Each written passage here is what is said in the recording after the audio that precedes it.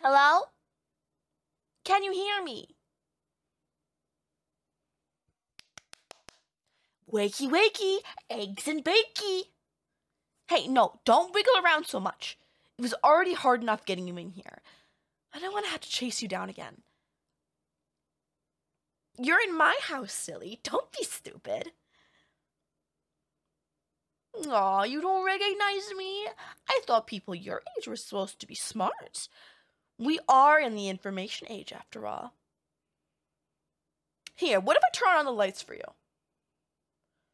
Ah, now you remember me? Thank goodness. I was worried that phone of yours finally rotted your brain away. You see, that's a funny story. I'll explain everything in due time. You just need to calm down. I said calm down. Don't you dare speak to me that way. We may both be adults, but I'm older than you, so you owe me respect. Stupid entitled millennial. Do not argue with me. The customer is always right after all. Now, why don't we begin with the story the day we met? I was minding my own business, drowning out the sorrows of my third divorce with an abundance of wine, when I suddenly got the craving for a burger. So I decided to try out a new restaurant in town Grill Mark's Place. The food was awful. My burger was undercooked. It had onion on it when I specifically ordered no onion. And worst of all, the minimum wage teenager cashier didn't smile enough. She gave me so much attitude with her, your change is $5.53 talk. I just had to give the owner a piece of my mind. But when I asked for the manager, you walked up to me. And I just couldn't stay mad after that. Why do you look so confused? You're the perfect package. You're handsome, you're patient, you know how to suck up to me, and you're much more of a man than my good for nothing ex husband was.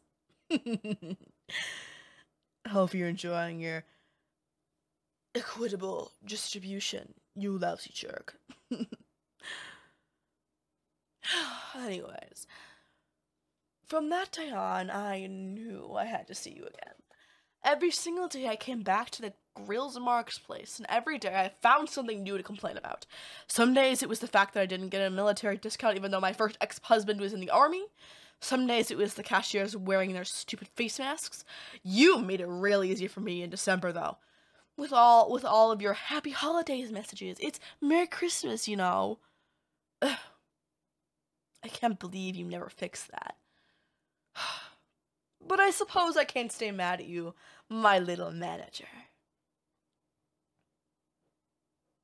Your employees started to recognize me and always gave me the best service possible, so it was really hard to find an excuse to talk to you every day.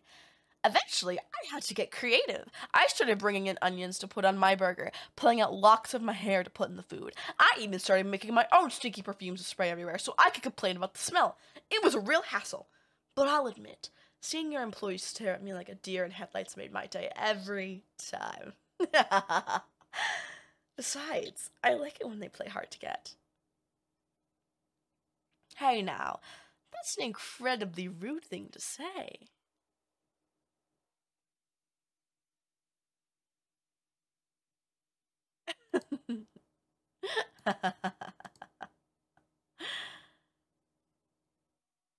Someone ought to teach your generation some manners, I swear.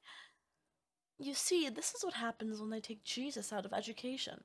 Kids get entitled, they stop listening to their parents, and they start acting like their own individuals instead of an empty shell I can relive my unfulfilled desired youthful fantasies through. Let's get back on topic, shall we? Day in and day out, I kept up this routine. Even when my brats started complaining. Honestly, they got tired of burgers really quickly. I ended up needing to leave them at school for an extra couple hours just so I could go into the building without them throwing a hissy fit. But it was all worth it. I did this all for you. This routine of ours was so fulfilling until one day I came in and asked for the manager, only to see a different face walk out. I couldn't believe you got fired. It made me so upset that I chewed out the new manager for a whole hour. Eventually, I scared him into giving me your contra- your contact information. Thank God for that too, because otherwise we would have had no way to talk again. but it still wasn't easy. That little slut you were dating kept blocking every number I called you with.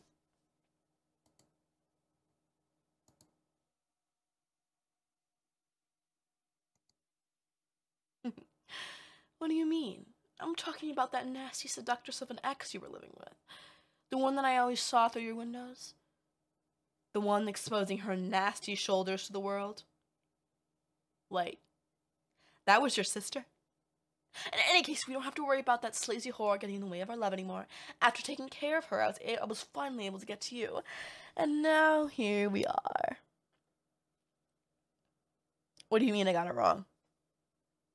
So you're saying that you weren't fired? You quit? Did you really not want to see me anymore? After all we had been through, is this what you really think of me? I suppose that doesn't matter now. All that matters is that you're here with me, and we can see each other every day now. Oh, by the way, I have a surprise for you. That's right, it's your old uniform.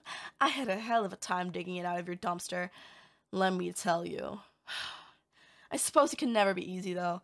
That's one thing you have in common with my ex-husband. Ugh, bullheaded lowlife always kept pushing back on my demands like a scumbag. But now we can spend every day together just like we used to. Me as your valued customer, and you as my perfect little manager I get to chastise. Isn't that fantastic? The horrors of late stage capitalism all day, every day for the rest of your life.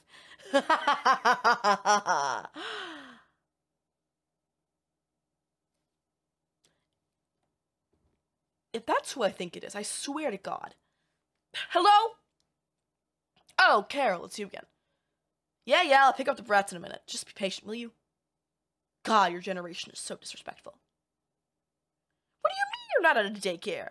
You're you're a school. You're at a school, aren't you? What's the difference? Quit your yapping. I'll be there soon. Ugh. What else do you want to waste my valuable time with? I told you my kids did get the required vaccinations. No, they didn't. I just need the school to believe that. Gotta protect my little angels after all. Listen, if they say they didn't, that's just because public education is brainwashing them into getting to wanting more vaccinations. I'm telling you, these vaccinations are like a virus. Once one person gets one, everybody is infected. All the stupid shedding is making my poor babies sick. This is all your fault. well, they wouldn't be acting out so much if you stopped giving them so many participation trophies, now would they? I'll let you know I am having a very strongly worded discussion with the principal after this call, so you better be ready to lose your job, alright? Language! Do not speak that way in front of my kids. You're poisoning their innocent minds.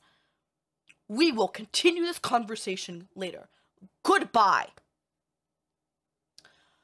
As you clearly heard, I need to pick up my financial burdens from school. Apparently, leaving them there for five hours after dismissal is unacceptable or whatever. Don't worry though, I'll be back soon. From there, we can have lots of fun together. Don't go anywhere, my little manager. Oh, wait, you can't.